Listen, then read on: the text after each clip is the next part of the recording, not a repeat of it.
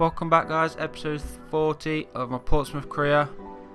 Um, we had three wins out of three in the last one against Man United, Arsenal and Swansea, so hopefully keep that up and get some wins in this episode as well. First game up here is away to Blackburn.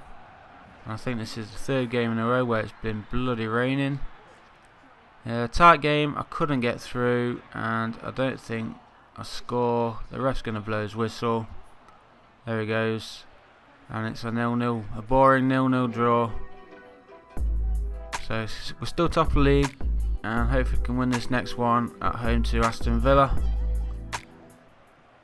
And it's raining again. Can't believe it. I can't believe it. It's FIFA. And it's Danny Sturridge. He's done the defend midfielder. Shoots. Oh. Nearly a good start there from Danny Sturridge. There we got Gosling to Chamberlain. Sandro, oh got it in. Great ball from Alex Oxlade-Chamberlain. Uh, Alexandro slides it under the goalkeeper to make it 1-0 after 26 minutes. No further goals in the game. And the ref blows his whistle. But it's three points, a good three points. So we're still top of the league by five points. Liverpool second now.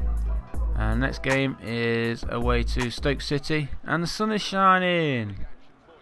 About time.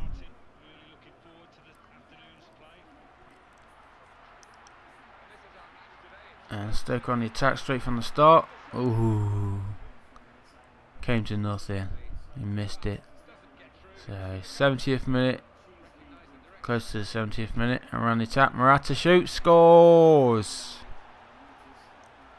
Nice little goal there. I think it was Daniel Sturridge with the assist. And makes it 1-0.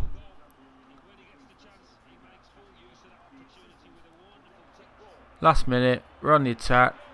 Oh, did I not score there? Should have been 2-0. Never mind. When the ref blows his whistle, it's another 1-0 win. And another 3 points.